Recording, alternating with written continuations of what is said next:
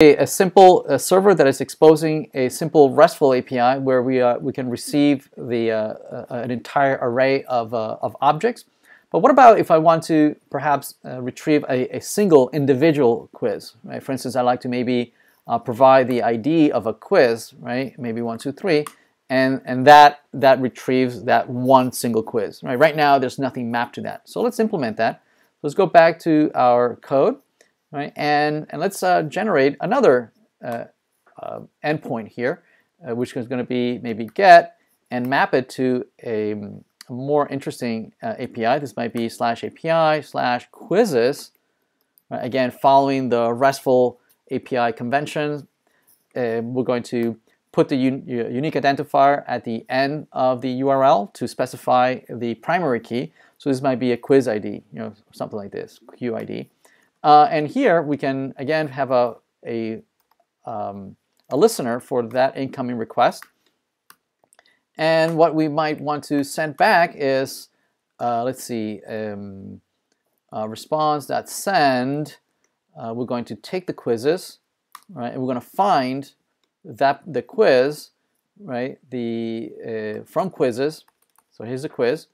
We're going to only retrieve the quiz whose ID, right, matches what is equal to this QID that is coming from the URL. So we need to parse out that, uh, that information from the, from the path. Uh, now, as I mentioned earlier, right, the, uh, all the information that comes from the, from the client, right, including path information, the URL itself, any portion of, the, of that URL, any cookies, any headers, uh, any any JSON objects coming from from the um, uh, from from the client, everything is accessible through the request object. We haven't used the request object just yet. This is our first uh, uh case that we're going to be using it. So I'll, so the request object is going to be able to, for instance, get a hold of any path variables.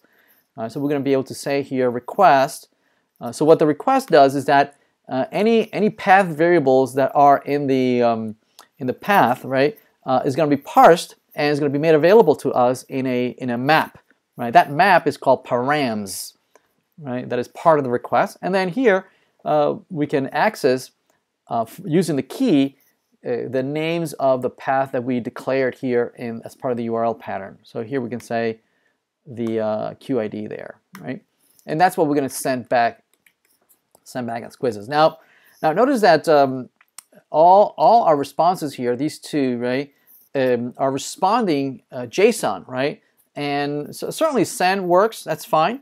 Uh, but uh, if we know that the, the data is going to be formatted in, in as JSON objects, then uh, a better use, a better uh, way of doing that is to instead use JSON here, the JSON function, right? Which makes sure that you know it validates that it's it's a correct JSON.